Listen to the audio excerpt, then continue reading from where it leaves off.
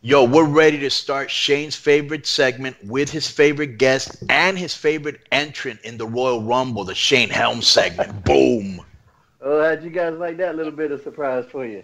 Real good. Oh, I super popped. I want to. I want to talk about something. Oh, we appreciate it. Hey, man, hold up. First of all, did you see Big Lebowski? Not yet. Hey, shut the hell up. I ain't even talking to you no more. This No, whole no, no, I friendship is done. Here's what I want to talk about. I want to talk about how you were sort of like teasing everybody, uh, if you give in retrospect, that you might have been part of the Rumble based on your you were you were kept posting on Instagram like Rumble spots. Uh, you were you always kept referring to it as your favorite pay per view, even in private text messages and stuff. Everything. How long ago did you uh? How long did you know you were going to be on it?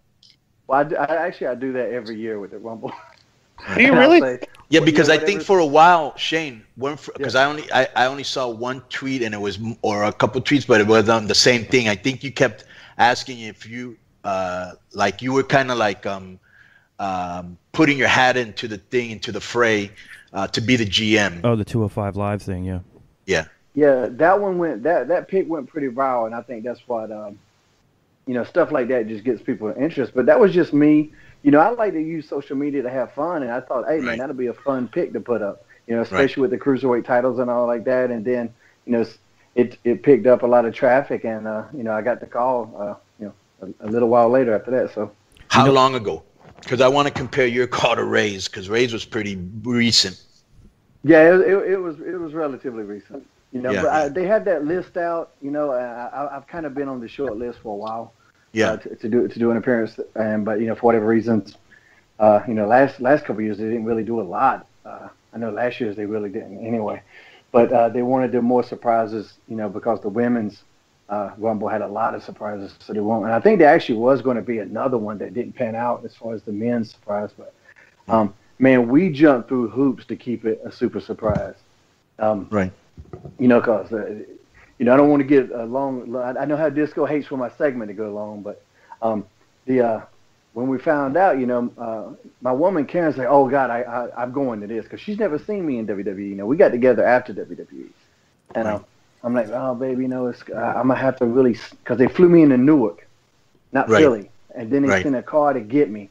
And you know, so they're they're they're going out of their way to keep this super secret secretive too. You know, so um, You got to do your Um, part. Yeah, I got to do my part because if it gets out that I'm there and it's Right. my fault, I'm Right. gonna look like a jackass. You know what I mean? Right.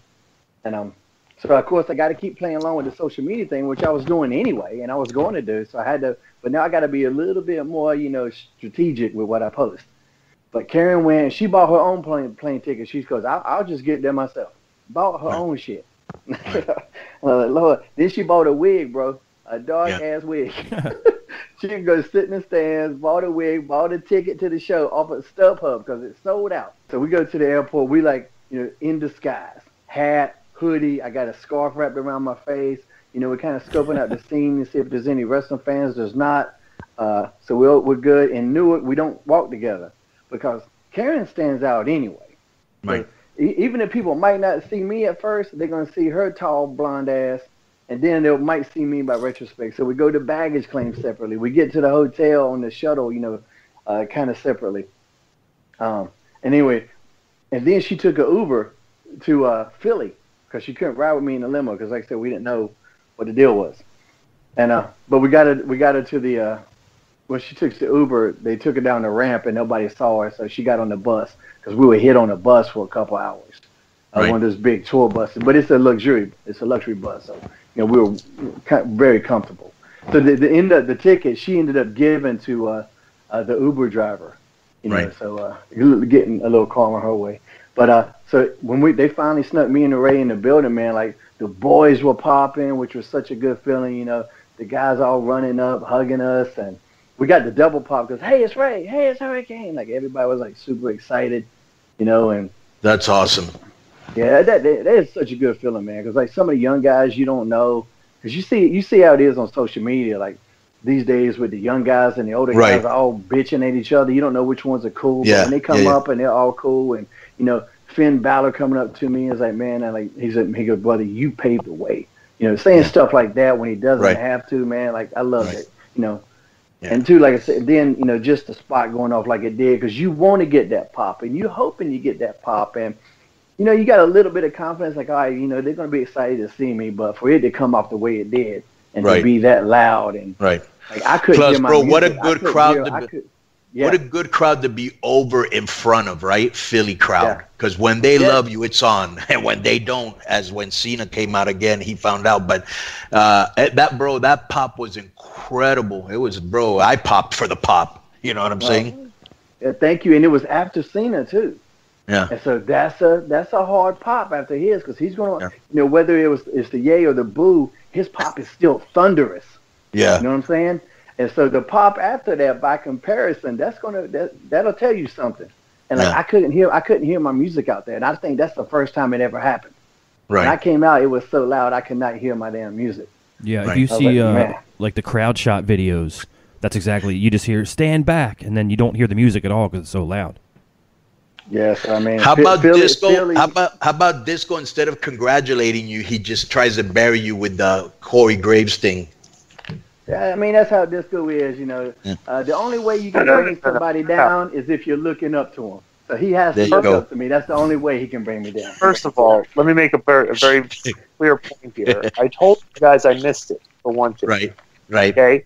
And I was just telling him because, like, I maybe he was going to be able to see Corey Graves in the hotel or something after the show. I wanted to smarten him up, and I was wondering, wondering why Corey Graves would bury him.